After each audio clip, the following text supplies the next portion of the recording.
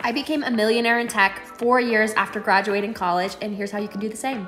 Now, the easiest way to become a tech millionaire is to land a million plus dollar startup stock package. And here's my tips on how to do that. Tip number one, target B2B companies in your recruiting. I know everybody has the dream to work for FANG or some consumer brand that all your friends know about. Give up that dream because there's less money on the table there.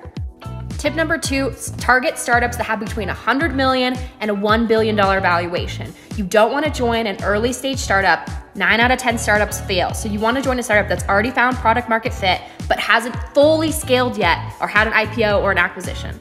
Tip number three, join a startup that has under 200 employees. This is the most important point. You wanna find a company that's lean, lean, lean because they can pass on those benefits to you. You don't wanna split the pie with more people.